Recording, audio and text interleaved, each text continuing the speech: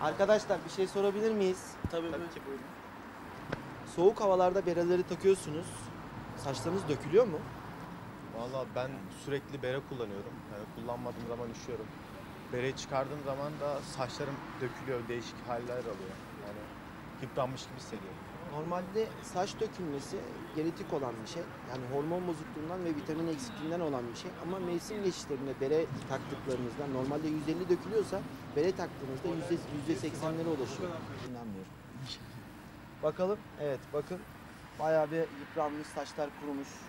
Bunun için işte saçlarınız daha parlak, daha nemli, daha sağlıklı olması için bakımlarınızı yaptırmanız gerekiyor periyodik olarak.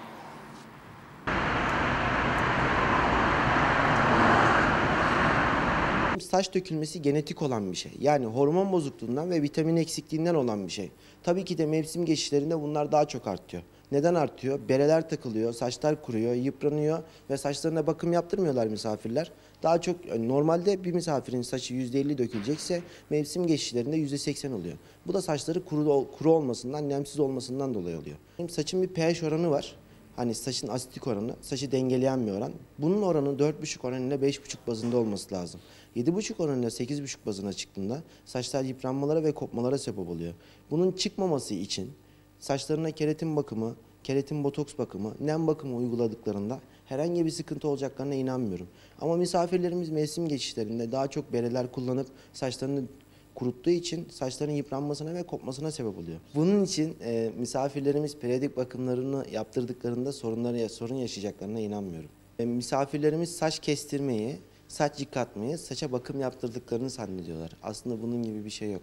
Yani 3 ay nasıl karnında çıkıyorsa saçın da karnına çıkıyor. Bunun protein bakımı var, nem bakımı var, işte bunun yıkaması var. Genellikle misafirlerimiz evde sülfatlı, silikonlu, paravetli şampuan kullandıkları için yani her şampuanın içerisinde sülfat ve paravet var. Bu da saçın kurumasına sebep oluyor. Yani sülfatsız ve paravetsiz şampuan kullandıklarında saçların az kurumasına neden olur ve dökülmesi azalabilir. Şu altlarda. Şu an saça haftalık olarak bakımını yapıyoruz. Maske yapıyoruz. Saça protein ve yüklüyoruz. Haftalık olarak fenotip bakımlarınızı yaptırabilirsiniz. Saçlarınızın kurumasını ve dökülmesini, yıpranmasını önlüyor. Yani asitik oranı pH dengesini orantılıyor.